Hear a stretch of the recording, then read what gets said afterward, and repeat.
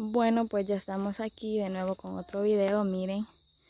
Desde aquí dejamos la calle para entrar a un camino hacia nuestro destino. Por aquí están las muchachonas. Como ya llovió, mira Iris, todo está reverdeciendo. Ahorita sí está bien lindo, lindo, lindo. Por eso es la mejor época. Cuando todo reverdece, dijo la lady. Sí, porque cuando está seco se siente una gran. Sí. Allá en la casa, cuando este, los palitos de jocote están, o sea, se secan ya, un puño de hojas regadas en el patio, y ya después lo verde, una gran sombra. Bien. Todo bien bonito. Ah, pues, Hay quienes que les gusta más la, la época lluviosa y hay quienes que no toleran. A mí me gusta el invierno porque todo está verdecito, porque cuando llueve en la noche, o sea, un clima bien rico. Pero. Es que eso es lo malo, porque cuando, digamos, este, está el gran solazo, la calor en las casas, las que son de lámina, porque se siente un poco más pesado, pero ya en la lluvia, cuando llueve, ¿verdad? En el invierno, hasta más rico duerme uno. Ah, pues seguimos. No les, han, no contado la historia de, de este lugar. No la quieren escuchar. Cuéntale, ¿es de miedo? Sí. Ah, pues cuéntale, yo quiero ir. Va, miren. Bicha, vamos a contar una historia. Este, como antes, va, como algunos saben, creo que los suscriptores no saben, de que mi familia casi todas de, de por aquí, no exactamente de por aquí, cuando estaban pequeños crecieron, pero hasta por allá, más lejos. Entonces ya después fue que se vinieron para acá. Entonces, este, mi, mi abuelo contaba que, que él venía a trabajar por este lugar con el, con el papá de Carlos. Ajá. Y entonces venían una vez, tempranito, de madrugada, y escucharon como que venía caminando algo de por allá. Y eh, dicen que ellos empezaron a sentir un gran escalofrío. Y empezaron a, a, a, a tener por miedo. todos lados, pero como estaba bastante... Nada. Pero como estaba bastante oscuro, o sea, les daba algo de medito, porque como sintieron el escalofrío y siguieron Ajá. caminando. Porque así, y siguieron caminando. Entonces más allá, cuando llegaron más por aquel lado, sintieron más, como que se les fue enchinando más la piel. Y ya dice mi abuelo que le dijo a, a don Humberto que si ese, o sea, si no sentía él ese mismo escalofrío. Y le dijo que sí. Pues ya después este, escucharon como que le hablaron a, a mi abuelo. Otra persona, o sea. Ajá. Y ah. solo se quedaron viendo y no, no quiso contestar. Y siguieron caminando. Pues ya cuando, cuando llegaron allá por los, por, por aquella montañita más allá arriba, este, les salió un gran, como un gran animalón así grande. Uy. Y los empezó a seguir. Y este ya después los siguió y sintieron como que algo los agarró y se quedaron así como que no se podían mover ni nada. Este ya después no me acuerdo ni qué fue lo que me dijo, pero en fin, esa era la historia. Pero no les pasó nada después, la reacción de nada. No, nada, era mentira. Eh, y mire cómo estaban las bichas. No, pero antes, según, que era mentira. Y lo arruina diciendo. según que antes sí les pasaban cosas así. Uy, sí, más en estas montañones. allá por la portona, allá de Mi mami también. Mi mami la vio. Yo solo soñaba con esa Por mujer. el lado del panteón, San Antonio abajo, pasaron El Salvador Plus, parece, por ahí. Ajá. Por allí mi abuelo y el papá de mi mami, como vivían por San Martín, iban a hacer mi Rock me sale un poquito oscura. ¿Mm? Me sale algo oscurita para este lado. No sé. No, es que es por el brillo. Ahí bien cabalito. Va, entonces dice de que ella este, le iba a ayudar a jalar agua porque andaban fumigando. dice. Que quedaba, la misma quedaba como en altillo y ella bajaba, quedaba la misma aquí y como que allá estaba el río para abajo.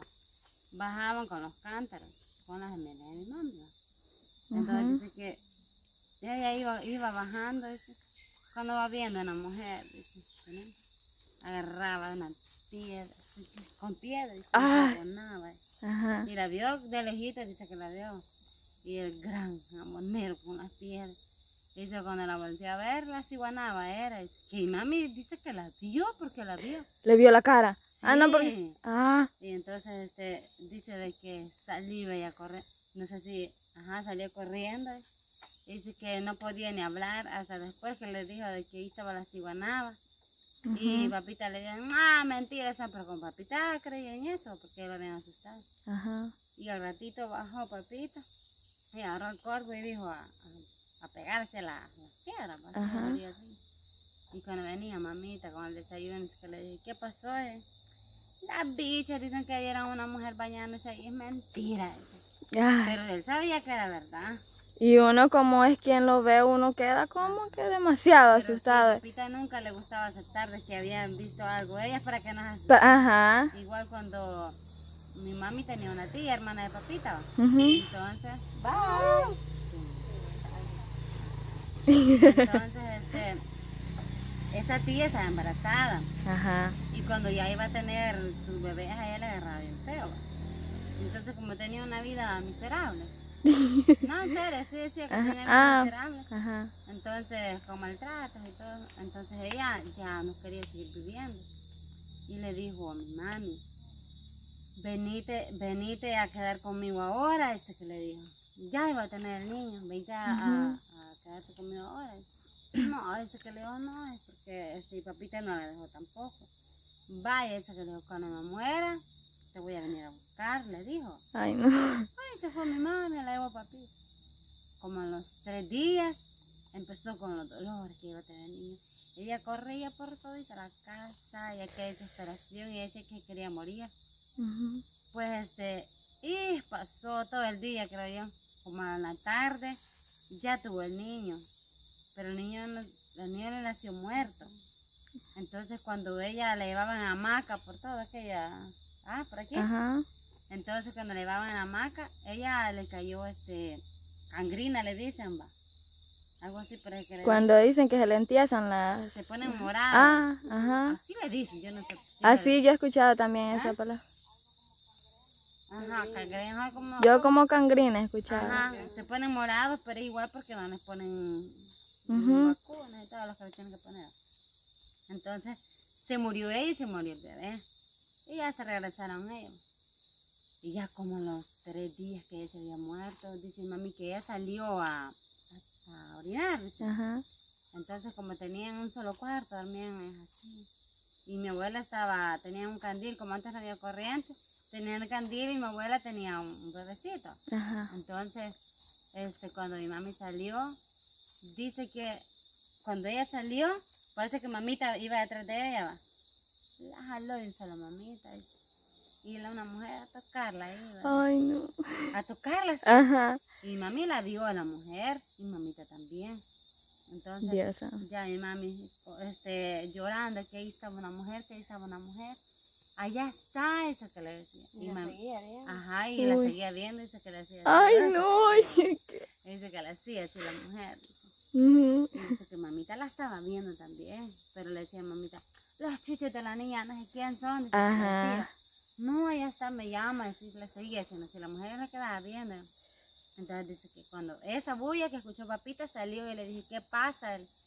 Y entonces él, ay, la Carmela que dice que había una mujer. Dice, ah, está para adentro vos, este, viendo de más. Visiones le dicen a. Ajá, entonces la, le entraron ellas y salió papita así como un voladito que tenían agua, un- tenía un volado con agua. Y allí dice que le pegó con el corvo, dice que le dijo, te vas de aquí ya. Dice, papita la vio también. Entonces dice que le dijo, los chuchos de la, igual le inventó que los chuchos de la niña. no De la señora, de la vecina. Ajá.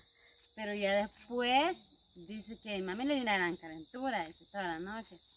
Y ya después dice que ya, no sé si a los años, a los meses le dijeron a mi mami que sí, que una mujer estaba ahí.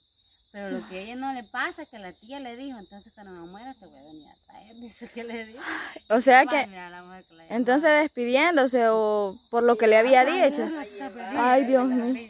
Ay, no. No, y es que, como dijo Elmer una vez, que antes sí pasaban cosas así, pero pasaban demasiado. ¿A quién no asustaron? De, los- de la gente que vivió antes. De, ajá, de los más antes. Pero- Una persona no las miraba, sino que más personas miraban. Y, a- y Sí. ahora ya no, ya no se ve mucho eso porque, como dice Elmer, va, tanta tecnología que hay allí, se, o sea, se va todo lo malo, pues. Ajá, ya uno ya no que hay en internet y todo Porque eso. cada ya uno tenemos, algo malo. Sí, porque igual, miren que a, a mi hermana, ella tenía una como mejor amiga. Y cuando la muchacha se murió, antes de que se muriera, ella le dijo que, que mi hermana estuviera donde estuviera, ella se iba a venir a despedir de ella. Entonces cuando la muchacha se, se mató, ¿verdad? ¿Saber por qué?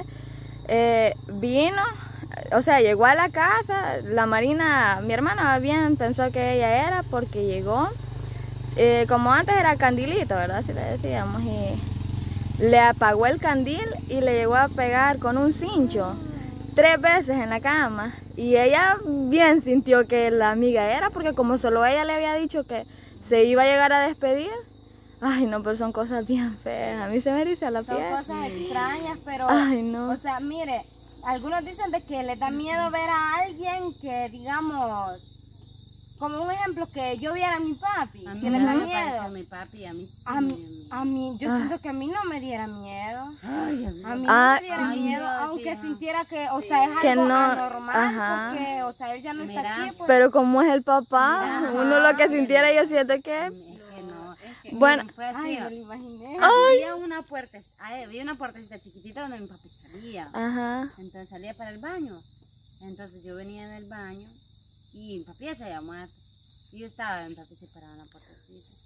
Entonces yo lo vi, ay, Dios mío, qué mío tan horrible. O sea, saber de que mi papi estaba muerto y por qué se me apareció mi papi. O sea, Sí. yo porque, o sea, la andaba mentalidad, no sé si fue por mi, o sea, mi cabeza. Por el pensamiento tal vez de que quería volverlo a ver. Pero lo vi y a mí sí me dio un miedo bien horrible, o sea, sí, yo estaba en mi cuerpo. Y ya como dos veces me pasó eso. Después era para mi cumpleaños. Este, eh, Ernesto, la esposa de mi hermana, él le gusta tocar la guitarra. ¿va? Y mi papi le habían regalado un requinto. Entonces mi papi sí le gustaba tocarlo. Y este, todavía tenemos la otra casita.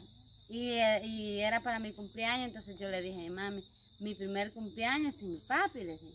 Entonces, ya en la- como a las 7 de la noche, vos estabas ahí, ¿o no? Como a las 7 de la noche, se escuchó que tocaban el requinto, así, ¿va? Ujú. Y, este, y yo como quedaba la puerta aquí, estaba una hamaca que sí, la puerta del cuarto. Y lo tocaban. Entonces, y Ernesto estaba afuera. Todos estábamos afuera. Entonces mi mami llegó y le pegó a la cama, va. Entonces, ah, pues el mismo día que apareció mi papi. Y le pegó a la cama. Y entonces yo le dije, mami, le dije, ay, deje que es mi papi, porque yo ya lo había visto Ay, no. allí en la puertecita. Y si no me creas, ya no me no. No, o sea, yo ya lo había visto, va. Y yo, o sea, sentí miedo, pero después que sentí yo como que mi papi me había dicho que, que no, que no iba a ser mi cumpleaños sin él. Entonces yo le dije a mi mami, deje que es mi papi, que, o sea, le dije, mami, los ratones son, dijo, pero ¿y qué iba a haber un ratón y a tocar? Como tres veces. Ay, no. No, hombre, el ratón se lo iba a pasar dándole media una cuerda, tal vez. Son pero, historias sí, o sea, demasiado fuertes. Al principio sí me dio. no, principio sí me dio miedo cuando lo vi, pero después, o sea, como yo estaba ahí, ya le dije, mami, es mi papi, déjalo. Dije, y cabal, mami llegó a pegarle a la cama y ya no escuchó nada. Ay, no, ya, Roxana. no, bien raro. Es que hay cosas como, o- no sé si es lo mismo que una. Sí. Vaya, pues ahí estuvieron las historias de la Roxana. Y vamos a regresar en otro video porque este ya se me alargó. Así que regresamos. Regresamos.